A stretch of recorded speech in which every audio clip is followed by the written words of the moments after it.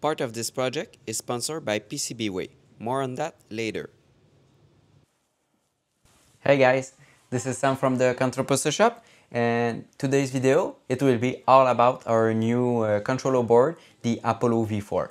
Uh, for those who don't know, the Apollo uh, project is basically a fully open source uh, controller board for resin printer in mind and since we have a new machine new requirements uh, to check all the boxes uh, we needed to make a new revision of this board to suit uh, all our needs.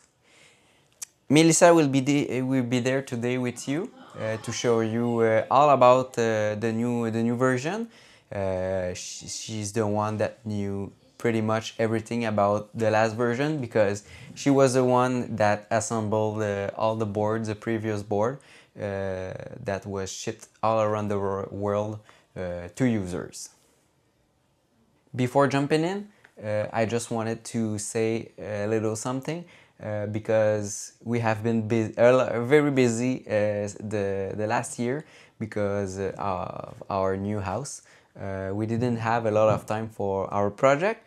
So um, I just wanted to thank PCBWay uh, for helping us in this project and by sending us uh, parts for, for the project and also uh, complete assembled board uh, for, for it.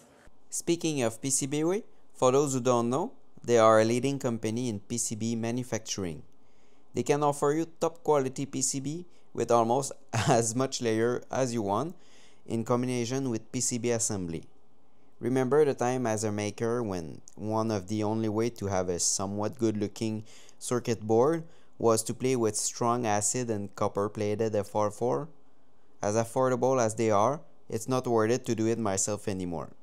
They are not just offering PCB, but also all sort of things like additive manufacturing, even metal or engineering materials, and also subtractive manufacturing like CNC machining. You just need to upload your file and choose what you want and that's pretty much it. You can learn all that and more by using the link in the video description.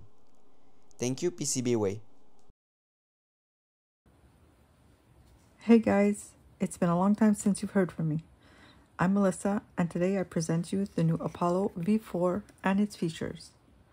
For those who don't know, the Apollo board has been created for resin 3D printers in mind, and it is 100% open source. It's not much different from your typical 3D printer controller board, but with our own twist on it. There isn't much more to it than its predecessor, the Apollo V3.5, just a couple updates and add-ons. First of all, we kept the same footprint and similar layout to it. Unfortunately, there is no artwork on the PCB yet because it's a prototype and Sam wants to give you something nice for the release version. For a quick rundown of the layout, we have the power supply area here, the MCU part in the middle, and all the inputs and outputs all around the board. Let's start with the PSU part of the PCB. We are still using the same step-down IC because they have proven to be reliable in the past by giving us good performance and they don't need a lot of passive components so it can keep the BOM low. One is giving us our 5 volt rail and the other the 12 volt one. They are both capable of outputting up to 5 amps continuously. At the output of each one, we have an E-fuse just in case to protect the ICs. We know that it's sometimes difficult to know or monitor how much current we are using so this is why we have included their own separate shunt and amp meter. They will send the data to the MCU so we can know in real time how much power we are using and notify us if we are approaching the overload because you wanted too many RGB LEDs in your machine. For the inputs, there is nothing too special about them. We have down here two thermistor inputs for your typical 10K NTC thermistor. This will offer you things like resin temperature and chamber temperature. For the limit switches or sensor inputs, it's your typical VCC ground and signal pinout, but with a twist. It happened in the past that we ordered the wrong kind of sensor or what we had on hand was not suitable for the original configuration. so we kept solder bridges at the back to let you choose if you want to pull up or down the MCU pin, so you can choose something like a NPN or PNP sensor. Now let's go see the outputs. Up here, we have a power MOSFET to drive whatever you want with it, even if we don't use it anymore because our LED driver uses PWM inputs. We kept it because it could be very useful in the future for things like a powerful heater chamber. Just beside it, we have a PWM output for the LED driver I just talked about. At the bottom, we have an addressable LED output so you can hook up your LED there. The 5 volt comes from the onboard 5 volt supply, but if you have too many of them, you can use a separate power supply and keep the digital pin. Over here, we have an onboard stepper driver. We loved having a remover stepper driver, but we decided to go onboard for a more unified look and better thermal management. We also upgraded it for the TMC 2226. Here, we have the fans and optional output. A bit like the sensor inputs, those are fully configurable so you can choose the voltage output for them at the back using the solder bridges. We have two channels here for three pin fans with each channel driving two fans. In other words, we have one MOSFET for two fans.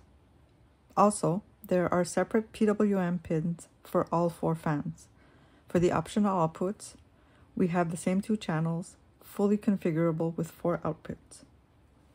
For the IOs, we kept the same idea with the last gen by having the AC port containing all necessary power pins and four general IOs and two ADC pins. We also have an onboard USB. This is just a relocated part coming from the Pi.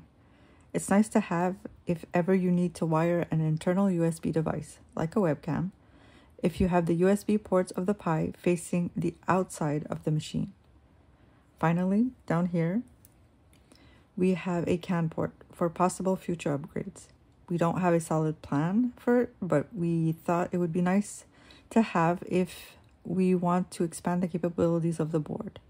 It's also not populated right now, thanks to Sam thinking he had the right footprint for this job. The heart of the machine has also been upgraded for the new RP2350B the big brother of the RP2040. Because we have a couple of more things going on and we wanted more from the Apollo, we went with the faster chip with more IOs so we have plenty to work with.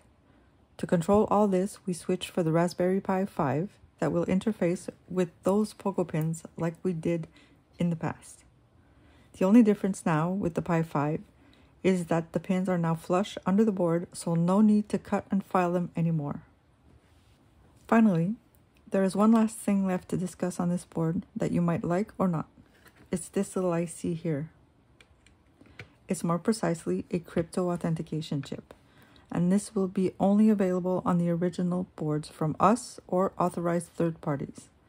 We have been approached a few times in the past for the Prometheus and Apollo project. We want to stay fully open source, and sometimes it closes doors for potential partners. The dilemma was how can we stay truly and fully open source by keeping certain protections for us, clients, and partners? The big idea here is to give the original Apollo board an original serial number or key that will offer more things.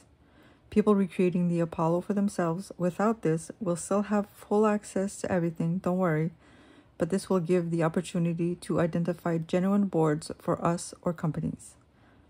Companies that want to protect their own secret sauce, like proprietary functions, will be able to keep it for themselves. We will give you more details on that when it's time. We still are true believers of open source, and we know, anyway, that the best thing comes from the community. This was it for today, guys. Uh, I hope you like uh, this video and the reveal uh, of the new Apollo. Um, in the next video, uh, I think I will show you uh, the new build arm uh, for the, the printer, the build arm and the, the build plate. So this will be all about the assembly and the new version. I'm excited to show you because like everything else, uh, we have new features and I think I think it will be very cool. And since then, you can you can join uh, our Discord to discuss uh, and talk about this project and anything and anything else too. So yeah, thanks for watching and I hope seeing you in the next video. See you soon.